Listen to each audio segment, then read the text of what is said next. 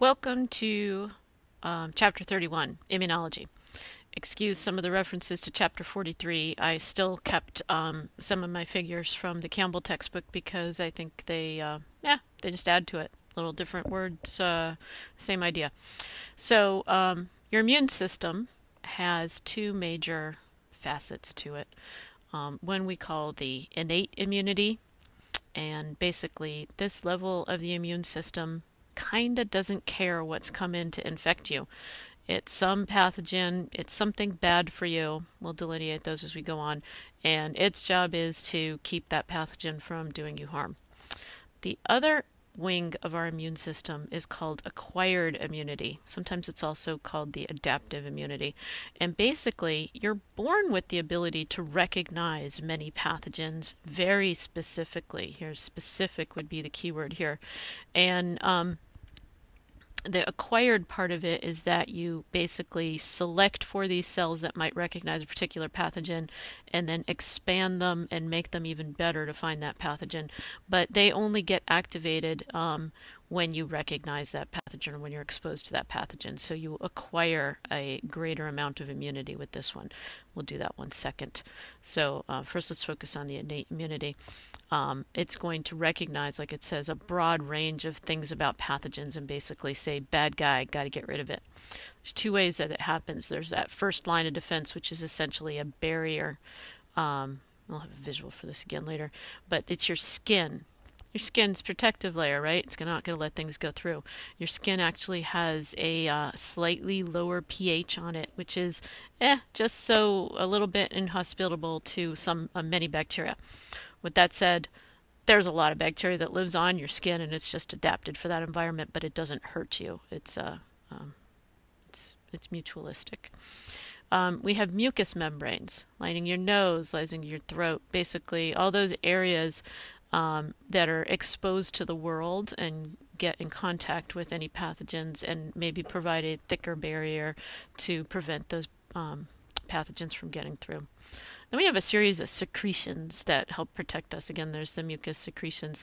Um, your eyes have some pretty fascinating stuff in them. So your eyes are really exposed to the world. You just have a lot of stuff um, hitting them, and they're pretty much a direct path into your body. Um, so one of the components of your eyes is called lysozyme. Um, actually would fall into this antimicrobial proteins, but it's actually made in a secretion. Um, and lysozyme is um, an enzyme that don't confuse it with lysosome. Unfortunately, it's lysozyme. It's an enzyme that um, chews through the cell wall of bacteria. So if a bacteria gets in your eye, the cell wall gets digested by this enzyme. Hopefully, it doesn't hurt you.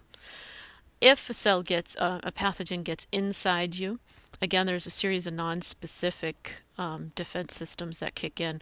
There's these cell called phagocytic cells, which we'll talk about in more detail in a minute, neutrophils and macrophages, and they engulf the pathogen, chew it up a series of antimicrobial proteins, some cytokines that go in and basically neutralize the pathogen.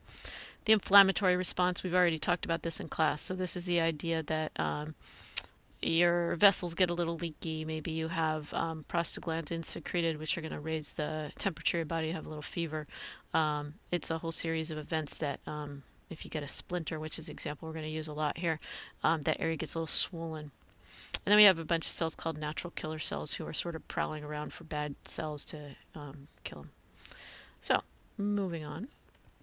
Here's a collection of all of the important cells um, that are classified as white blood cells in your body. Um, I'm going to use this figure first to remind you that all of the cells of the immune system arise from a pluripotent stem cell that lives in your bone marrow. So um, you have heard about stem cells, you're continuing to hear about stem cells. There's different kinds of stem cells. There's the totipotent stem cell that's part of the embryo that can make a whole new human being if we're going to keep it in the human world. Um, and then there's other ones that are um, restricted a little bit. So they've developed somewhat, they live in a particular um, part of the body, and they replenish cells in that particular area. So the pluripotent bone marrow stem cells um, rely, reside in your bone marrow. And depending on the growth factor they receive, first off, they can go down two pathways. They can become a lymphoid cell, stem cell, which also still stays in the bone marrow Let's do this one first. And if that lymphoid cell continues to get new, more growth factors, um, maybe it'll develop into a B cell. We know those make antibodies. And another set of growth factors send it on its way to become a T cell. We're going to go into these guys later on. These are called lymphocytes, and um, they are the important ones for the adaptive immunity or the acquired immunity. So these are the specific cells that recognize pathogens at a very amino acid specific level and um, can discriminate between even two different um, types of influenza. Um, we'll go those do those later. So the other guys get a message in the bone marrow to become myeloid stem cells. And then this is another self renewing stem cell population that hangs out in your bone marrow. And then, depending on the needs of your body, it will develop into all these different cells. Um, if it gets the growth factor called erythropoietin, it will develop into an erythrocyte or red blood cell. A red blood cell is a highly differentiated cell. We've talked about it so many times. It has hemoglobin in it, has special cell membrane, has a special shape, actually loses its nucleus at the end. Another um, group of cells that um, is highly differentiated and actually fragments and is not even a dividing cell anymore are called platelets. Platelets are critical for blood clotting. So remember, when there's a wound, um, platelets get activated.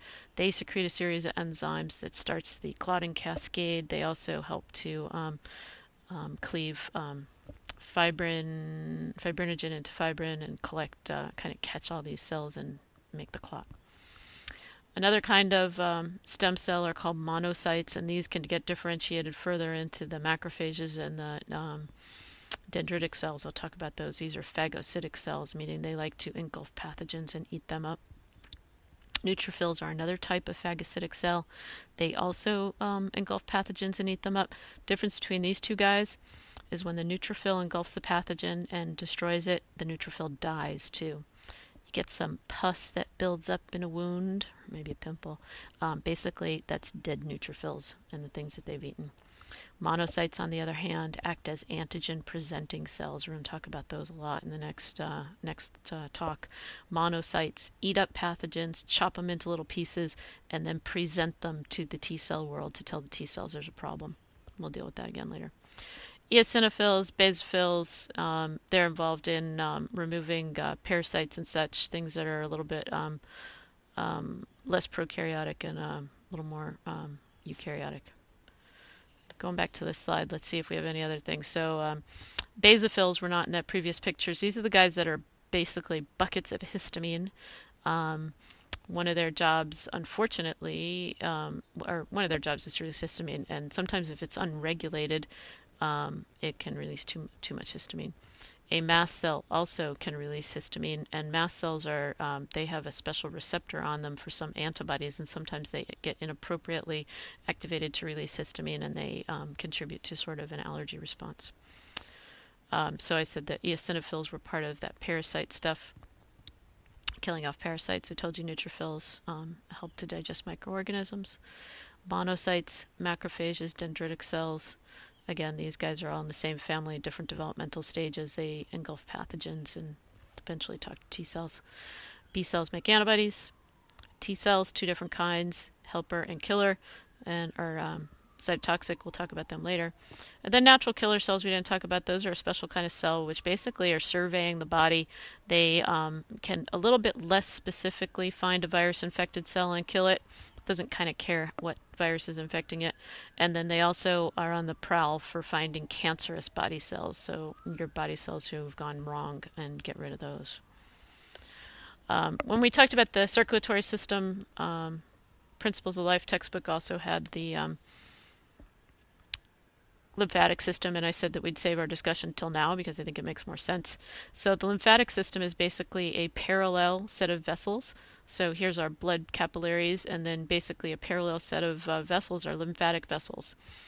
Um, around them are the cells, and then they show you a line here. This little space between cells is called interstitial fluid. So basically, the interstitial fluid or the fluid around cells kind of dumps into the lymph system, and then the lymphatic vessels, is these green lines you can see around here, all dump into these little um, lymphoid organs or lymph nodes, um, different um, plate collecting areas where um, a lot of um, B cells and T cells and macrophages reside. Um, so you have lymph nodes and collecting places and special neck underarms, the groin area. Um, other organs that are considered part of the um, lymphatic system are your spleen. Your spleen is basically a collecting place for B cells and T cells to meet up and communicate. Um, your appendix is another location where there's a lot of immune systems that kind of traffic through and check out what's going on. And um, Peyer's patches in your small intestine. You probably should also include the thymus.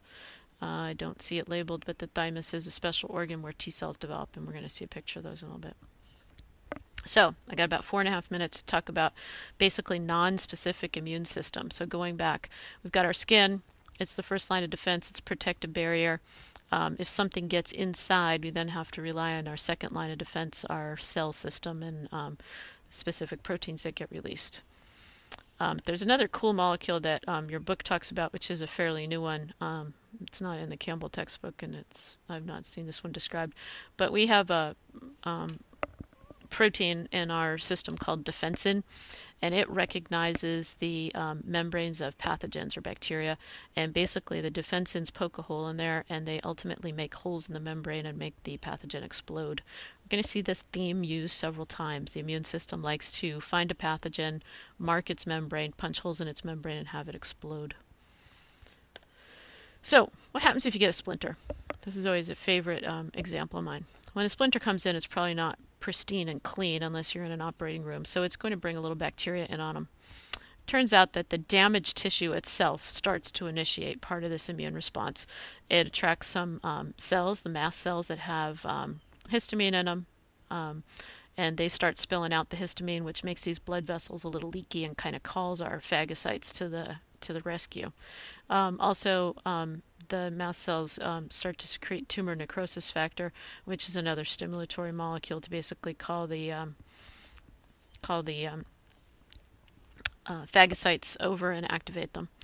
So again, the vessels become leaky as part of the um, inflammatory response, and leakiness means that the um, phagocytes that are getting called over to here can kind of sneak through the capillaries and come out into the tissues and survey the tissues and eat up the pathogens. So they literally encompass um, those pathogens. This would have been a neutrophil that engulfs the bacteria and dies, and then this would be more of the uh, dendritic cell macrophage that eats it and stays alive and goes and takes off and goes to show it to the T cell world very cool picture of a phagocyte encompassing and engulfing a yeast cell. What happens when it takes it in? Basically, that um, remember endocytosis, and this is um, a larger scale. So, um, it phagocytosis is the bigger scale one, brings it into a vesicle.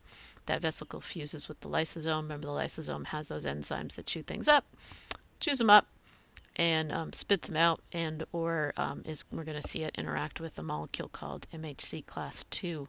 Then it'll go and put those pieces out on the membrane of the dendritic cell. Another thing that can happen when they um, take the pathogen in, and this is part of the um, innate immunity or non-specific immunity. Your textbook doesn't talk about it, but this is a pretty cool idea that just um, was discovered maybe about 10, 12 years ago.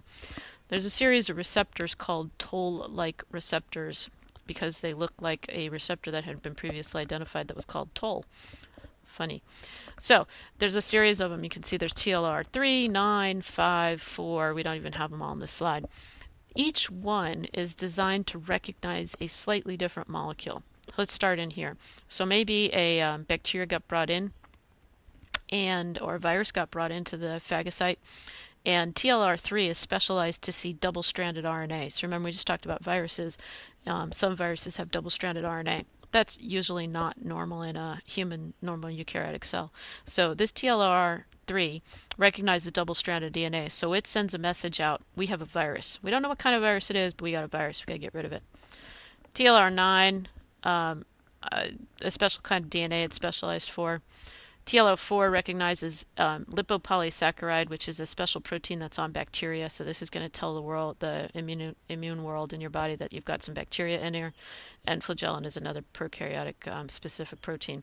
They are not specific for the kind of bacteria it is. They're just saying, "Hey, bacteria," and these guys are saying, "Hey, virus." I think I'm going to have to stop here. It looks like it's just about time anyway. Uh, yes, because the next slide is about acquired immunity. So that will be the next topic.